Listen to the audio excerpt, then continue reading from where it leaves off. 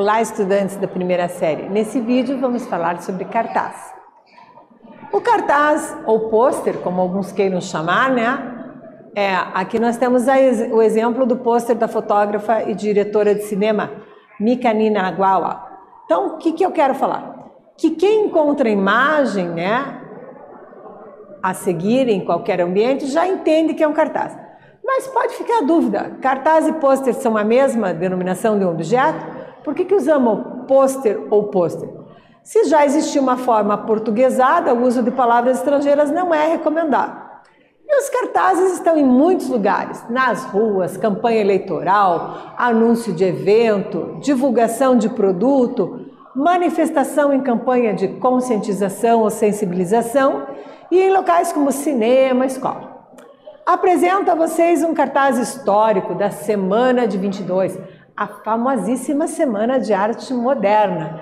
E aí olha a linguagem do cartaz né, da época de 22, teatro com TH, o amanhã com N no final, né? Era antes da reforma ortográfica.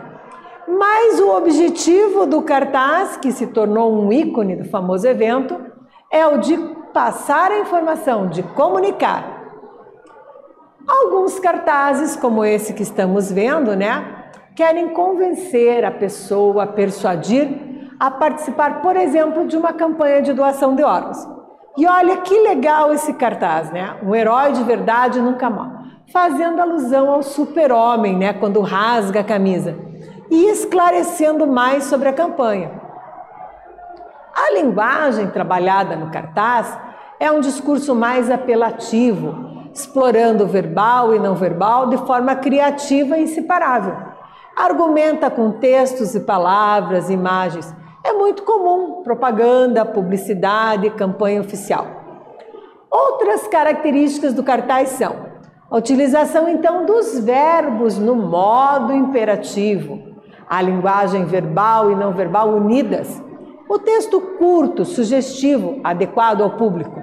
Muita criatividade né, para pensar o que vai dar certo ali no cartaz. Preocupação estética, sim. Harmonia com o tamanho das fontes, ou seja, das letras, das imagens, em relação também à cor, ao tipo de imagem. Espaçamento, utilização de cores, se vai ser todo colorido, preto e branco, é, monocromático e utilização de figuras de linguagem. Em relação aos tempos verbais, nós vamos conhecer o modo indicativo, por exemplo, calcei o sapato do outro. Indica o fato certo, que realmente aconteceu. Então eu posso dizer que o calcei é o pretérito perfeito.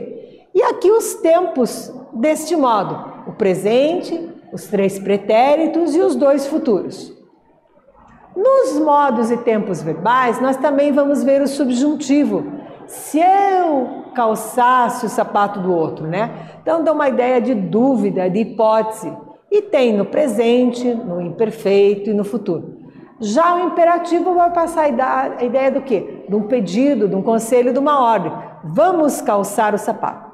Porém, só existe no afirmativo e no negativo. Neste vídeo falamos sobre cartaz. Espero que vocês tenham gostado. Até breve!